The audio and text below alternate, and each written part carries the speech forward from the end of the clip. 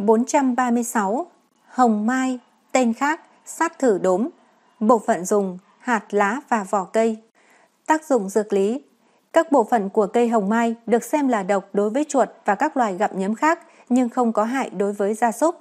Người ta cho rằng do tác dụng lên men của vi khuẩn, cumarin có trong cây biến thành dicumaron có tính chất chống đông máu. Chất này làm giảm hàm lượng prothrombin do gan tiết ra, làm chuột chết do xuất huyết nội tạng. Lá, cuống lá và vỏ cây được xem là có tác dụng sát trùng. Công dụng Lá và hoa cây hồng mai được dùng làm rau ăn như hoa cây sò đũa. Nước sắc lá hồng mai có tác dụng hạ sốt, thêm nước pha loãng để tắm chữa hăm kẽ và ghẻ. Ở Philippines, người ta dùng nước ép của lá, vỏ cây và rễ để chữa vết thương và mẩn ngứa. Lá giã nát đắp tại chỗ dùng chữa thấp khớp. Ngoài ra, lá tươi để nguyên hoặc giã nát dùng lót ổ hoặc chuồng gia súc, gia cầm có thể trừ trừ diệt bọ chét, ve, dĩn. Nhân dân ở một số nước Đông Nam Á đã có kinh nghiệm sử dụng lá, vỏ cây và hạt cây hồng mai làm thuốc diệt chuột đạt kết quả rất tốt.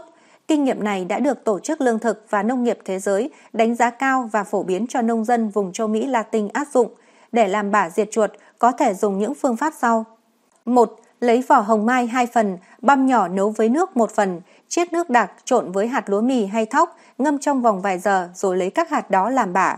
2. Nghiền nát lá và vỏ cây hồng mai với hạt lúa mì hoặc gạo, thêm nước đánh nhuyễn rồi phết lên những khoanh chuối. 3. Nghiền lá và vỏ cây hồng mai với hạt ngũ cốc ẩm, ủ cho lên men. 4. Tán hạt, lá và vỏ cây hồng mai thành bột mịn trộn với bột gạo. Đặt bả ở chỗ có nhiều chuột hoặc nơi chuột thường qua lại. Chuột ăn phải bã sẽ chết trong vòng vài ngày. Bạn muốn biết thêm các cây thuốc, bài thuốc nam chữa các bệnh thường gặp đơn giản, dễ áp dụng, hãy truy cập trang web bảo kỳ nam.com. Cảm ơn các bạn đã quan tâm theo dõi. Nếu video này hữu ích, hãy like và chia sẻ nó lên Facebook, Zalo cho nhiều người cùng biết.